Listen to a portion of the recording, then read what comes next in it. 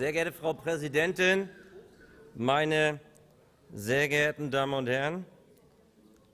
Herr Professor Weber, im Gegensatz zu Ihnen habe ich mich tatsächlich jetzt spontan gemeldet aufgrund von Ausführungen von Vorrednern und möchte dann doch auf das eine oder andere noch mal eingehen, insbesondere auch auf die Ausführungen vom Kollegen Schulte, was die Parteivorsitzende Frau Nahles betrifft.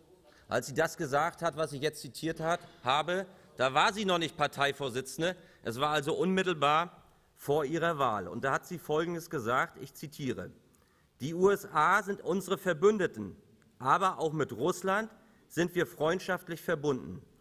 Die Wahrheit ist aber, beide Regierungen machen eine Politik, die schon lange in vielen Punkten nicht mehr deckungsgleich ist mit unseren Interessen und mit denen Europas schon gar nicht.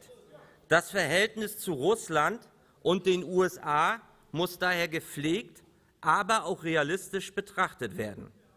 Das ist das, was Sie alles hier immer vortragen, was wir voll unterstützen.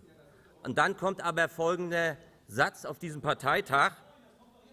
Dazu gehört, Kritik an Russland anzusprechen, etwa wenn das Land sein Veto nutzt, um die Aufklärung von Chemiewaffeneinsätzen zu blockieren.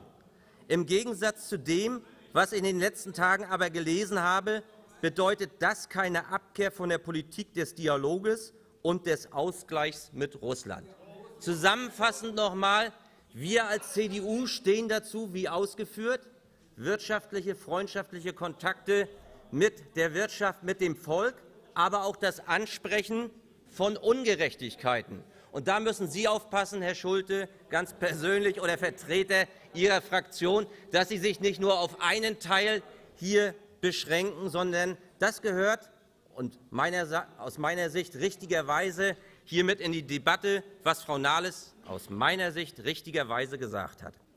Ich will aber auch noch mal einen zweiten Punkt hier ansprechen, weil es immer es ist ja im Prinzip jetzt abgeglitten zu einer außenpolitischen Debatte welche Sinnhaftigkeit, welche Folgen haben diese Sanktionen. Und insofern gibt es ja immer so eine gefühlte Lage und manchmal auch, aber auch eine Lage, die man anhand von Zahlen, von Statistiken bewerten sollte. Der Vertreter der Linken hat gesprochen von einem drastischen oder dramatischen Einbruch. Und da habe ich mir doch jetzt tatsächlich mal die Mühe gemacht, mir die Zahlen anzuschauen, so rückblickend von 2012 bis 2017. Und was sagen diese Zahlen im Prinzip eigentlich aus? Ich beziehe mich jetzt mal auf die Gesamthandelsbilanz, die im Jahre 2012 bei 790 Millionen lag und im Jahre 2014 dann bei circa einer Milliarde Euro. Dann kamen die Sanktionsmaßnahmen, die dann tatsächlich dazu geführt haben, einen Tiefpunkt zu erreichen von 642 Millionen im Jahre 2016.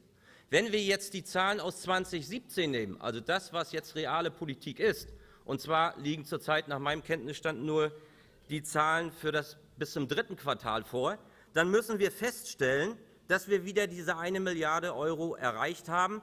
Das heißt, wir haben einen Zustand, der im Prinzip vor den Sanktionen sich dargestellt hat. Und wenn Sie dann noch ins Detail gehen, und hier sagen, der Export ist so riesig eingebrochen, dann ist das tatsächlich so gewesen von 311 Millionen auf 154, von 15 zu 16.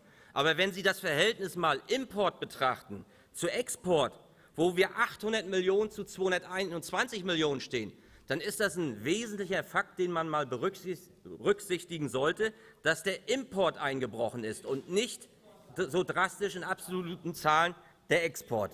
Und jetzt verweise ich auf die kleine Anfrage der Linken verfasst, nehme ich mal an, ich weiß nicht, wer es geschrieben hat, es muss ein Vertreter der Landesregierung gewesen sein, der hier interessante Dinge zum Besten gegeben hat. Die kleine Anfrage der Linken vom 16.02.2018. Dort wird gefragt unter zweitens, welche Branchen sind von den gegenseitigen Sanktionen besonders betroffen? Und dann kommt die Aussage der Landesregierung, für den Bereich des Seegüterverkehrs und der Hafenwirtschaft Mecklenburg-Vorpommerns können anhand der Entwicklung des Seegüterumschlages keine konkreten Auswirkungen der Sanktionen bzw. der Handelsbeschränkungen gegen den durch Russland aufgezeigt oder aufgezeigt werden. Eine trennscharfe Abgrenzung zwischen sanktionsbedingten und makroökonomisch bedingten Entwicklungen im Außenhandel lässt sich zudem nicht vornehmen. Das ist eine interessante Aussage. Ich denke nicht politisch motiviert, sondern anhand von Analysen hier niedergeschrieben. Und eine dritte Frage befasst sich dann mit dem Russlandtag und deren Effekten. Wir stellen fest, auch das ist hier so festgestellt worden schriftlich, dass hier eine Plattform geschaffen wird, um mit russischen Unternehmen ins Gespräch zu kommen und mögliche Kooperationsdinge vorzubereiten. Dann kommt die Antwort der Landesregierung, ich zitiere, auf die sich daraus ergebenden unternehmerischen Effekte hat die Landesregierung keinen Einfluss. Die im vergangenen Jahr wieder ansteigenden Außenhandelszahlen mit Russland geben jedoch Anlass zur Hoffnung auf eine positive Entwicklung und damit auf eine Bestätigung der erfolgten Bemühungen. Also das, insbesondere der zweite Teil, das hat schon was mit Logik zu tun, die ich nicht gleich nachvollziehen kann. Auf der einen Seite sagen wir, okay, wir schaffen die Gesprächsrunde, aber indirekt sagen wir in Punkt 2, möglicherweise hat das gar keinen Einfluss auf das, was sich handelspolitisch anhand von Zahlen nachweisen lässt, hier hat wahrscheinlich keinen Einfluss. Nichtsdestotrotz unterstützen wir die Situation, weiterhin im Gespräch zu sein, wirtschaftliche, kulturellen Austausch weiter zu fördern und Dinge anzusprechen, die aus unserer Sicht nicht in Ordnung sind. Dankeschön.